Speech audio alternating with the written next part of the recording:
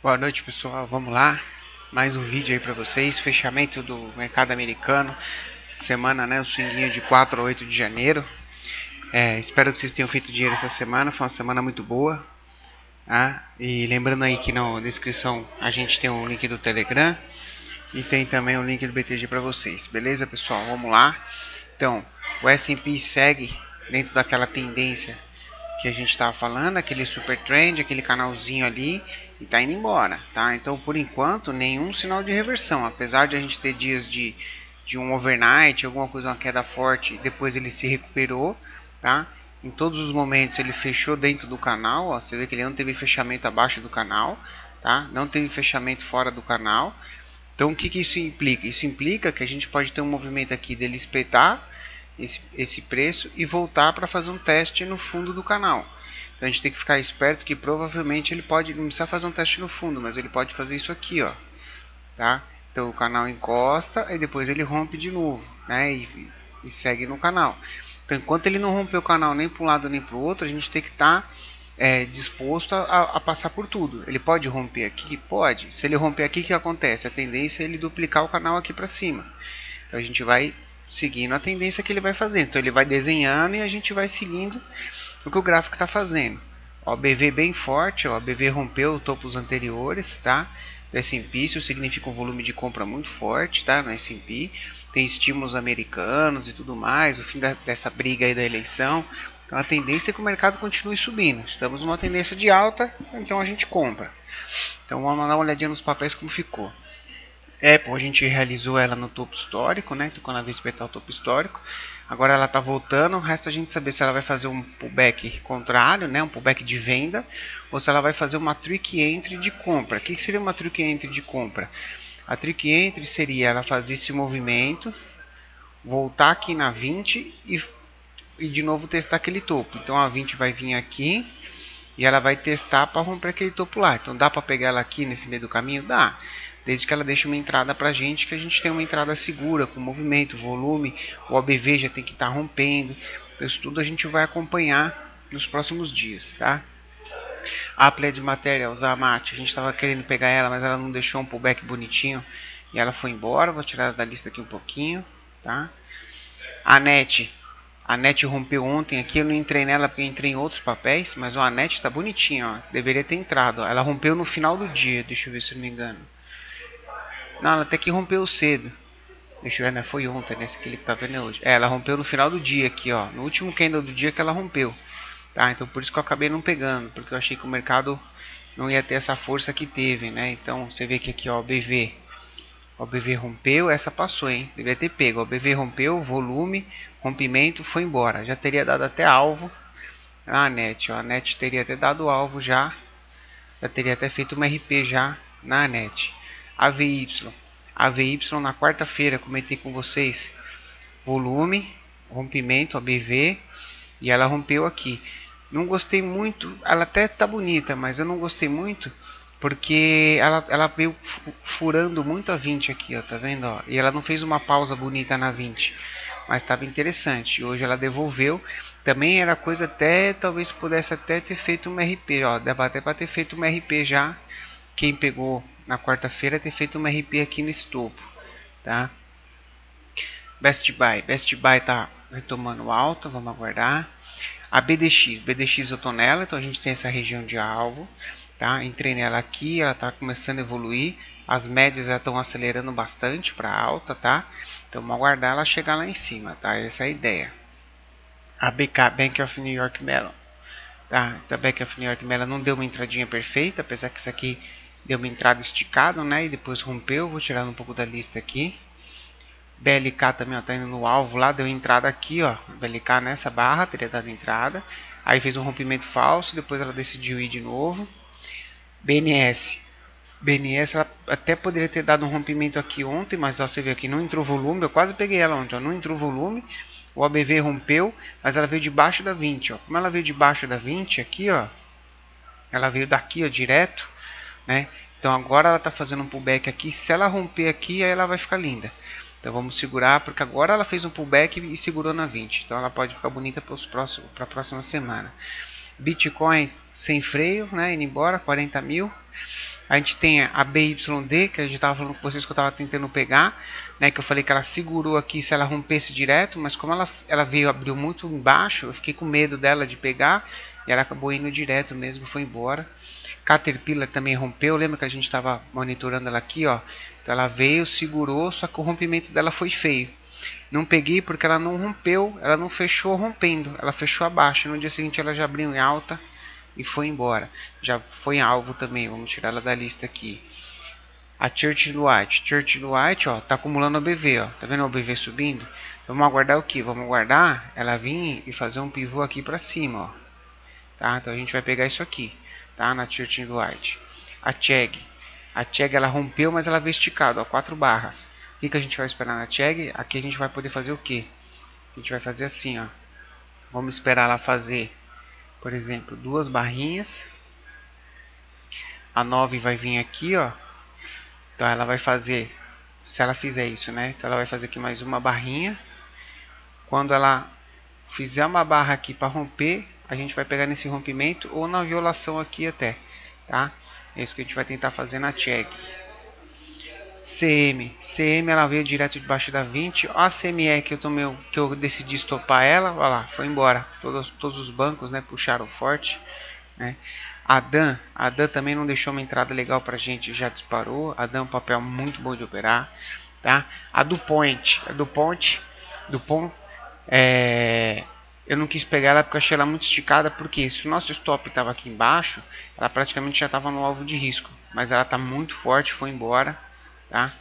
DE, DE a gente pegou. Então, DE foi entrada aqui, primeiro parcial, segundo parcial. Por que o segundo parcial? Porque ela já tinha esticado muito do alvo, ó. ela já tava, tinha passado do terceiro alvo. Então, quando ela fez aquela máxima lá, esticou tanto da 20, eu preferi sair. Porque se você reparar, uma coisa que vocês têm que sempre prestar atenção. Você vê que a DE, ela não é um papel que afasta muito da 20. Diferente de Tesla, que eu vou mostrar para vocês hoje. Ó, a DE, ela não se afasta muito da 20. Então, quando ela faz um afastamento desse, com certeza ela vai voltar ou vai lateralizar e vai ter um outro movimento. Aí a gente volta e pega ela de novo. Tá? Importante é pôr no bolso, tá? Não deixar voltar.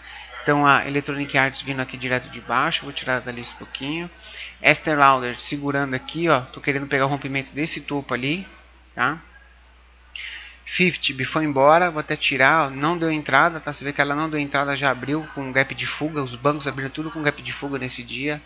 Não deu para pegar entrada, isso foi na quarta-feira, tá? A Honeywell, Honeywell que não não estopou ainda, ó, ainda pode levar nessa mínima aqui, ó. Mas ela já está ficando feia, tá? Apesar que o OBV deu uma acelerada, mas ela está ficando feia. O que que eu faria? Se já teria saído, né? Porque no ponto de entrada, depois dessa queda, eu já teria saído, mas você pode estar espremendo ainda para tentar sair com ganho. HPQ foi embora, lá já foi no alvo de risco, tá? Então já teria que ter feito uma parcial ali pelo menos. A IAC está lateralizando, esperando as médias. IBKBR, IB, IBKR foi embora direto. A IDEX eu peguei ela hoje, tá? Então qual é a ideia de IDEX? Ela você tem dois alvos aqui para IDEX, tá? Então deixa eu pegar aqui maior para vocês verem. Então você tem esse pivô, tá? Que é o que eu vou fazer. Eu vou tentar pegar o toque desse, nesse alvo, tá? E você tem essa perna de baixo aqui, que você pode projetar para cima também, que ele rompeu e ele vai projetar para cima. Mas a perna de baixo, se a gente for traçar aqui, ó, o alvo vai ficar bem curtinho, ó. Ela já está ali quase meio caminho do alvo, tá? Então tem que tomar cuidado. Eu peguei uns minutos antes do fechamento, então eu consegui pegar, ela já deu já está dando um lucrinho ali, coisa de um meio por cento. Tá? Então é bem provável que na segunda-feira ela já abre puxando. Faltou um pouquinho de volume para romper, ó, mas você vê que já está na máxima, o OBV. Faltou um pouquinho de volume, mas o volume está na média. Se tivesse entrado um pouquinho mais de volume, tinha rompido o OBV também. Então deu para entrar, ficou bem interessante a IDEX, tá? E SRG, e SRG estava mapeando também. Lembra que eu falei para vocês que esse aqui era um PC sensacional? Então, ó, eu tinha falado para vocês opa, que aqui a gente tinha um PC bom, porque a gente tinha essa região de topo que ela veio testar, né? Então são esses topos aqui anteriores, então ela rompeu, veio testar o topo, fez um PC e aqui tinha uma entrada de PC, tá? Então aqui ela rompendo a máxima também tem um trade muito bom ali, que é ela saindo dessa congestão e ela tem um alvo dessa congestão para cima ainda para cumprir. Então ela tem um alvo esse papel você pode vir ele daqui, ó, até mais para cima. Ele tem um alvo longo, esse papel dessa congestão. Então, se você pega ele aqui, ele tem alvo para cumprir lá em cima. Então, a gente pode segurar. Vou tentar pegar no rompimento aqui para jogar naquele alvo lá em cima, tá? Vamos ver se a gente consegue. A Jmia, a Jumia, né? A Jumia ainda fazendo aquela correçãozinha, ainda não retomou o movimento. Ok Corp que a gente estava monitorando, ó, fez o pullbackzinho na 20, bonitinho. Fechou aqui rompendo, mas tinha pouco, tinha pouco volume. Se tivesse bastante volume, dava para antecipar. Já abriu com gap de fuga e foi embora. Tá? Vamos acompanhar os bancos para ver. A Low, lembra da Low? Pullback e tá indo. Só que ela fez um pullback muito profundo. Então aqui ela vai ter que fazer o que? Aqui ela vai ter que fazer uma pausa, pelo menos. Então a gente vai fazer o que vai traçar uma linha aqui, tá? E eu quero que ela faça aqui uma pausinha, pode ser, pode ser uma barra, não precisa ser uma pausa muito, muito grande não. Ela pode fazer uma barrinha aqui, ó, tá? Coisinha pequena, só para dar uma pausa e já romper. Aí aqui vai ficar interessante. Então o ideal seria segundo um movimentinho de queda e na terça romper. Aí ela fica bonita. A Love querendo retomar alta, vamos aguardar. A Mase que eu decidi fechar nessa região aqui. E ela foi embora, pegou o nosso alvo lá. Você vê que tecnicamente não teria stop dela em nenhum momento. Ela fechou aqui, ó, nesse candle, ela fechou abaixo da 20, mas ele não perdeu a mínima. Então você estaria no trade ainda e agora foram no alvo, indo no alvo. E aqui, ó, é aquele mesmo trade que eu falei da ISRG, ó. Você tem essa congestão você pode projetar ela para cima. Então ela tem alvo bem maior ainda. Ela tem, teria esse alvo aqui, ó. Tá? Então vamos colocar, ó, projetado 100% para cima. Vamos ver se ela vai buscar esse alvo lá. Tá bem forte o papel. Matel querendo romper, ó, fez uma pausa. Essa pausa tá bonita. Então se ela fizesse mais um candlezinho de pausa, ficaria interessante pegar esse rompimento. Mas esse rompimento está bem interessante. Tem o BV, só faltou volume. Tá? MGM brigando para romper aquela máxima. MKC brigando, acelerando, o OBV já está querendo acelerar, pode ficar interessante. MMY trabalhando aqui para tentar chegar no alvo lá, mas está com bastante dificuldade. A Marvel rompeu aqui ontem, tá? Teria uma entrada aqui na Marvel? Não, te, não teria pelo caso do OBV, ficou faltando um pouco mais de volume. Mas no price action ela está bem bonita, tá? Hoje sofreu um pouquinho uma correção, mas segue normal no trade. Microsoft nada, a Match, por enquanto nada. Netflix, nada. Vou até tirar a Netflix aqui que ela tá bem feia. A Now, a Now ela chegou quase ao nosso alvo, lá tá retomando. Pode ter sido uma correção mais agressiva. NTAP, vamos acompanhar a NTAP. Você vê que aqui ela fez a, ela fez a projeção ó, dessa congestão aqui ó, certinho nesse trade que a gente pegou esse trade. ó. Ela veio aqui ó, certinho. Ó, que eu falo para vocês, quando a gente tem uma congestão grande dessa assim, ó, você pode botar que ela vai, ela vai duplicar essa congestão. E ela rompeu, fez um pullback, ó, ela rompeu, fez um pullback, confirmou o rompimento e foi duplicar a congestão. Tá? É bem comum isso no mercado americano, bem comum mesmo, tá? bem clássico de análise técnica. A Piton fez um PC bonito, ó, e agora seguindo o movimento, OBVs na, nas máximas. PayPal, PayPal querendo fazer aqui um, uma espécie de power, mas ele veio debaixo da 20, ó, tá vendo? E o PayPal ele já quase cumpriu esse movimento que eu falo para vocês, ó. Tá vendo? Então ele não tem muita distância para fazer, ele tem que fazer um novo movimento aqui. Então ele tem que fazer um movimento perfeito aqui para compensar entrar nele para ele fazer um novo alvo lá para cima, né? Não tem espaço ainda. Starbucks querendo romper aqui, vamos ver como que ele vai romper essa máxima, pode ficar interessante. SYK está tentando romper, fez um rompimento falso. Vamos ver se ela vai. E a Tesla, hoje eu fechei a Tesla. Encerrei a Tesla aqui. Nesse ponto. Tá? Vou mostrar para vocês, pra vocês verem. Então, olha a Tesla que eu falei para vocês. Repara que a Tesla, ela é um papel que ela gosta de distanciar da 20. Ela gosta de distanciar da 20. Se a gente pegar a Tesla no passado, volta lá. Se eu pegar a Tesla no passado, é que aqui os valores ficaram surreais, né? Mas se a gente pegar aqui, ó, você vê que proporcionalmente ela gosta de puxar e afastar. Ela gosta de fazer isso aqui. É um papel que muitas vezes ela faz isso.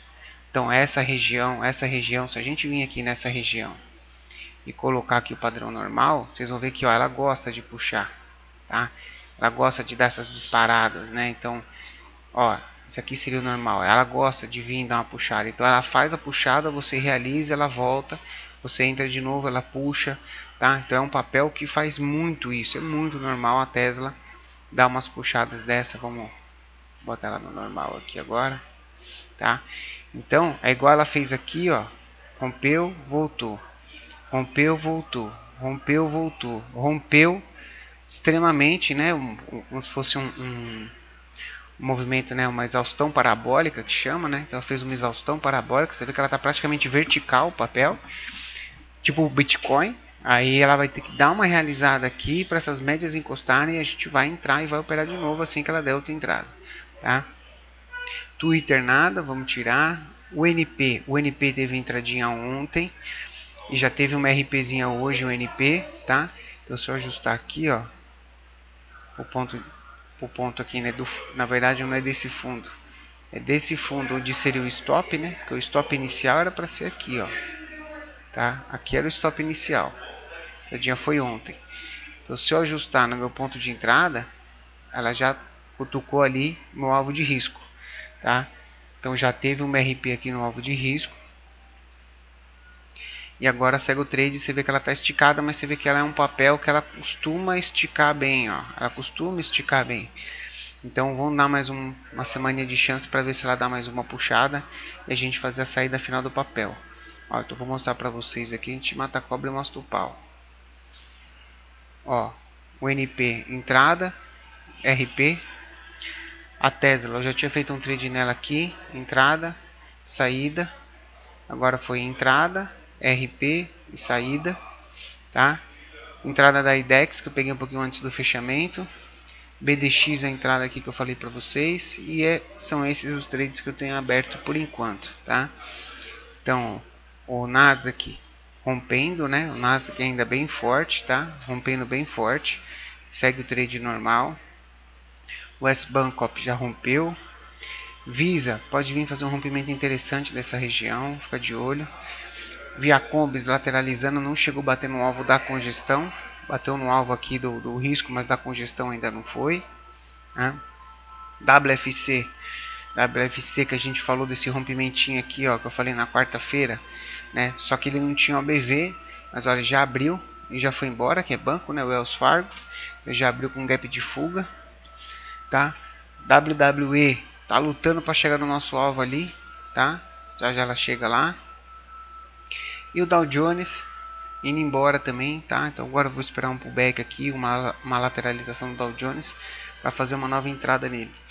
Tá ok, pessoal? Vídeo um pouquinho longo hoje porque tinha, teve bastante papel para a gente olhar. Bom descanso para vocês, bom fim de semana aí e boas operações semana que vem. Cuidado aí que o S&P tá numa zona aí de, de, de limite de canal, tá? Valeu, pessoal, bom descanso, deixa o like aí e até a próxima.